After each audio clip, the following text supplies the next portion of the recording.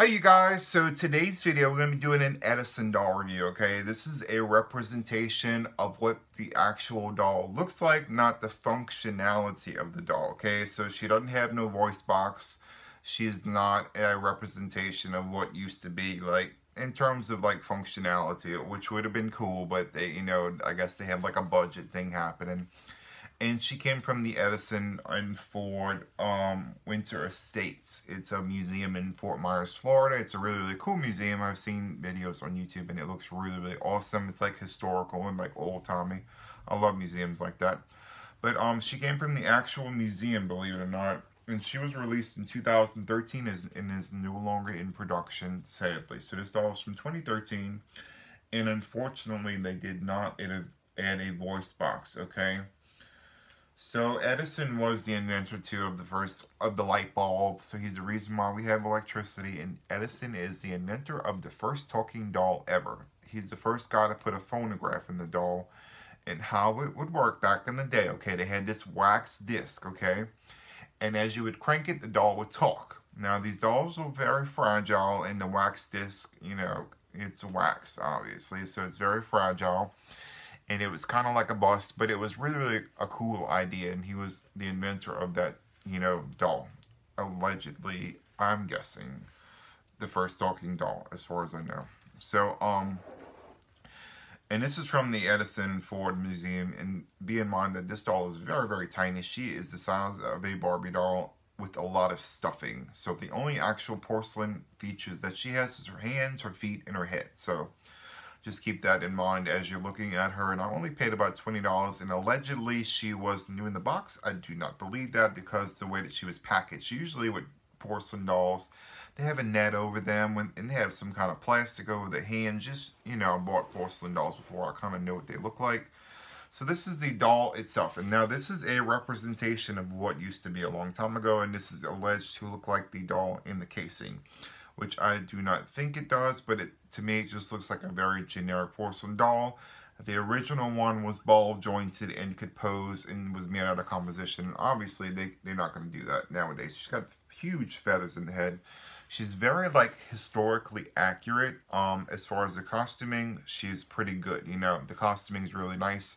She got, like, cute little bloomers and the little um, shoes, which is great. She comes on a stand, which is great. I think that this doll had a stand. I don't no, but she came with a stand. It was already on her waist, so I'm thinking that this lady had her on display for, for a very long time. She got tons and tons of feathers.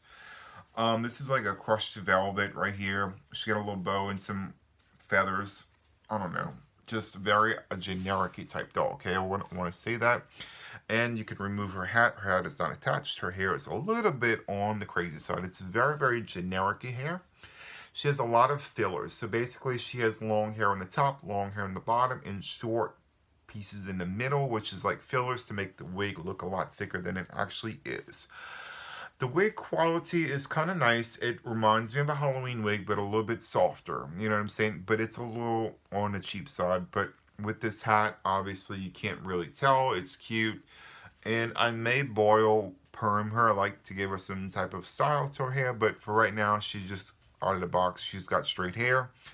Um, and then the original doll had straight hair also, I think, as far as I've seen on the picture. But this is a really, really cute doll. It just reminds me of the carnival dolls that they give you for um, winning a prize or something like that. Just a very, very generic doll trying to make a quick buck kind of thing, but not...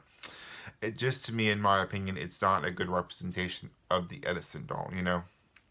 Like, they could have done way better. They could have made her talking, because this is from 2013. This ain't no old doll, okay? I can tell you that.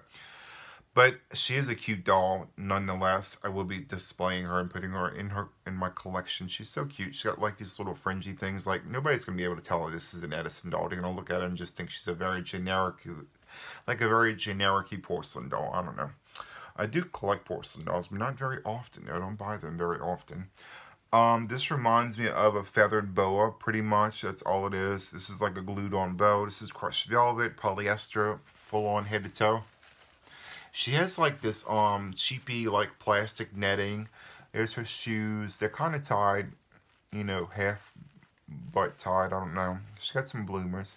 all of this is all stuff and it's like one of them porcelain dolls with the wire on the inside and they stuffed them and they just have like the hands and the head and stuff like that i don't know it reminds me of a doll from collectionsetc.com if you've ever been to that website collectionsetc.com they had very similar dolls to this on their website it's very to me just a really really cute doll though but the face is kind of creepy. She looks like one of them haunted dolls. That's what she reminds me of. Like ones that you'd find on eBay that's haunted.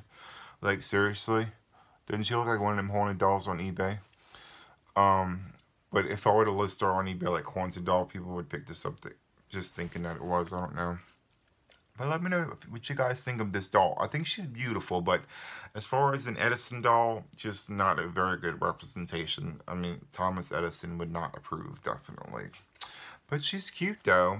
Very, very cute. Just very, very generic. She does have a Velcro closure in the back just in case you guys were curious. So her outfit is removable just in case she gets stained. You can wash it. And she's got like a bendy wire thing happening in here so you could pose the hat however you please. If you want it down, up, she's got a bendy wire in her hat so you could pose the hat all kind of ways. And this is really, really soft crushed velvet. Um, this is too just a little bit on the generic side. But um, let me know what you guys think of this kind of historical doll. She's cute, but she's not an Edison doll, definitely, in my opinion. So let me know what you guys think in the comments down below. And just remember to like and subscribe, and you'll see more doll videos. Bye.